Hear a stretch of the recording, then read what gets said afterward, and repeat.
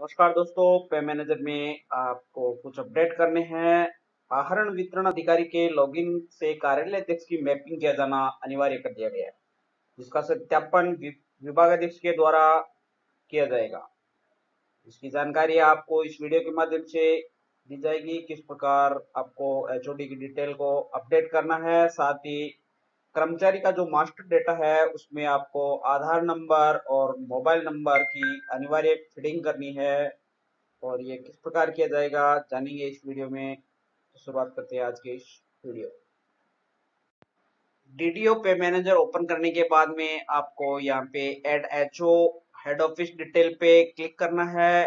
Head of office detail पे click करने के बाद में कुछ इस तरह का इंटरफेस दिखाई देगा, जहाँ पर आपको अपने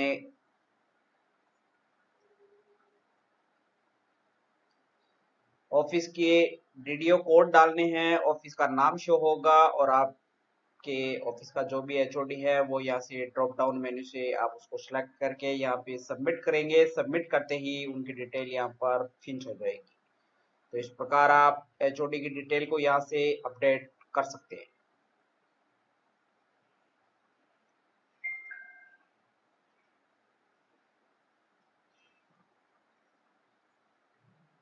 डिटेल अपडेट करने के बाद में आपको कर्मचारी की पर्सनल पे मैनेजर आईडी ओपन करनी होगी, जहाँ पर आपको कुछ इस तरह का इंटरफेस नज़र आएगा। वहाँ पे एम्प्लॉय कॉर्नर पर क्लिक करेंगे। क्लिक करते ही आपको ये चार, पाँच ऑप्शन दिखाई देंगे। Employee transfer request employee detail TA detail master data request और एम्प्लॉय रिपोर्ट आपको यहाँ पे काम करना है मास्टर डाटा रिक्वेस्ट पे।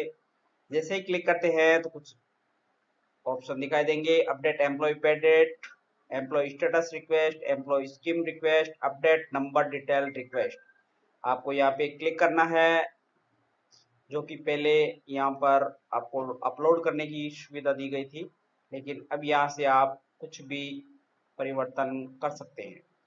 इसमें क्या क्या आप परिवर्तन कर सकते हैं? आप अपने सीपीएफ नंबर ये जो एस नंबर पहले वीडियो पे दे रखा था, वो आप यहाँ से अपडेट कर सकते हैं। और अभी जो महत्वपूर्ण काम करना है, वो आपको आधार नंबर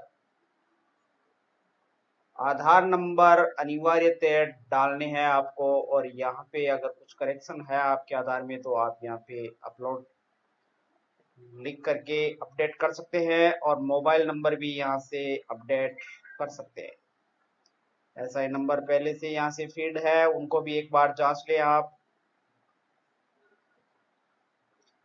ये सारी डिटेल आपको आप अपने स्तर पर अपडेट कर सकते हैं। इस एडिट के बटन पर आप क्लिक करके, जैसे आप एडिट के बटन पर आप क्लिक करेंगे तो ये आप बदलाव कर सकते हैं। आप पैन नंबर में बदलाव कर सकते हैं, आधार नंबर में चेंजेस कर सकते हैं एसजीवी नंबर और अपने मोबाइल नंबर में सुधार करके इन्हें अपडेट कर सकते हैं। उम्मीद करता हूँ ये आपको वीडियो अच्छा लगा होगा। अगर वीडियो अच्छा लगे तो लाइक, शेयर ज़रूर करें। Thank you.